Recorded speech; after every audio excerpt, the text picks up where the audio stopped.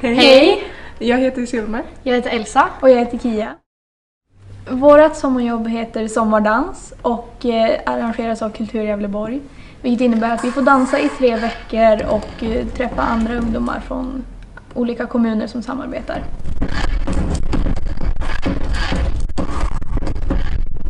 Ja, jag började dansa när jag var tio. Då var det mer för att det var mina föräldrar ville att jag skulle röra på mig men jag tyckte att det var jätteroligt. Så då fortsatte jag och nu får jag betalt för det. Så jag dansar i Bergsjö dansstudio och eh, jag dansar mest för kul men nu är det, det blir väl mer och mer seriöst. Jag dansar väl för att jag vill kunna sprida ett budskap till eh, alltså folket, olika budskap genom eh, konst och eh, liksom rörelse, olika konstformer. Eh, för eh, det är det jag vill jobba med i framtiden också. Det ska bli jättekul att få nu visa upp den här föreställningen som vi har jobbat med Felix Karlberg, vår koreograf, i nu två veckor.